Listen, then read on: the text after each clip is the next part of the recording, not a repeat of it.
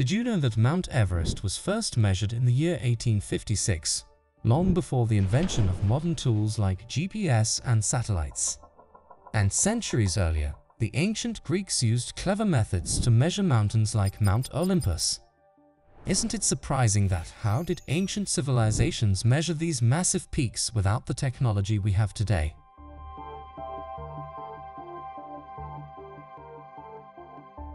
Mountains have captivated humanity for centuries, but understanding their true height and dimensions has been a monumental challenge.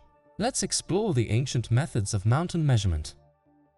Ancient surveyors used simple geometric principles to estimate the height of a mountain based on its angle and distance from known reference points. This method involved setting up select two or more reference points with known elevations, typically located at lower elevations and visible from the mountain being measured. These reference points serve as the base of the triangle in the triangulation process. From each spot, they used basic tools like theodolites to measure the angles to the top of the mountain. By taking these measurements from different spots, they created a network of lines all pointing to the summit. With the angles measured and knowing the distance between the reference points, they used basic trigonometry to calculate the distance to the top of the mountain.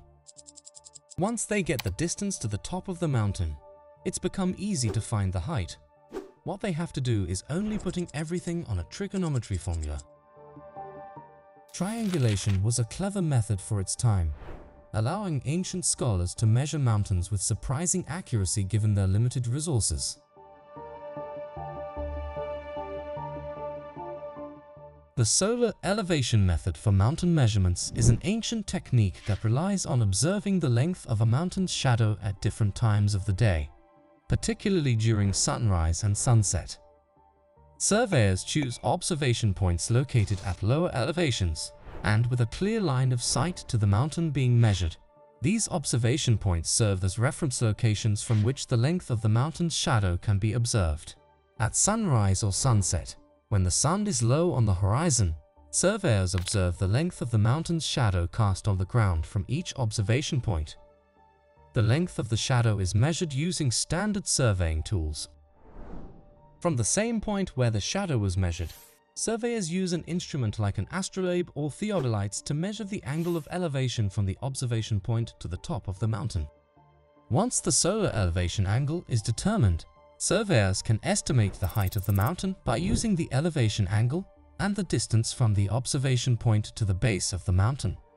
Using trigonometric principles, surveyors calculate the height of the mountain with the tangent function.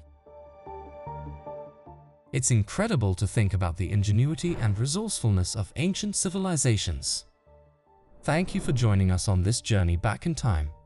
If you enjoyed learning about ancient mountain measurement techniques, don't forget to like, share, and subscribe for more fascinating explorations.